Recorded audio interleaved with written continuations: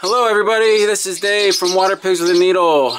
Just wanted to show you my 75 gallon tank. Uh, currently have two water pigs in here. This is a pineapple trigger and he is all gluttoned out. Uh, these guys can get up to 24, 28 inches. Uh, let's see, where are you? There he is. The Assasi trigger from the Red Sea. Up in the corner there.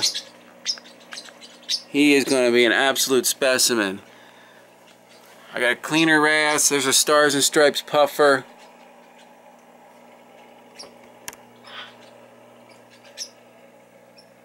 There's a Flame Hawk. There's the Assasi.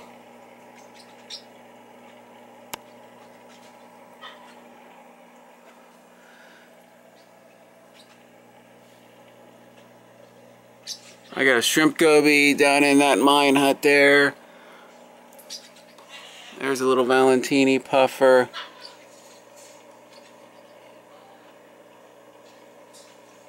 That flame hawk's so cool. He just perches.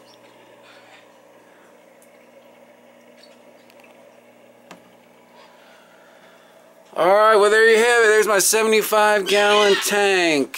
Thanks for watching and check out our other videos on Water Pigs with a Needle. Thanks. Later.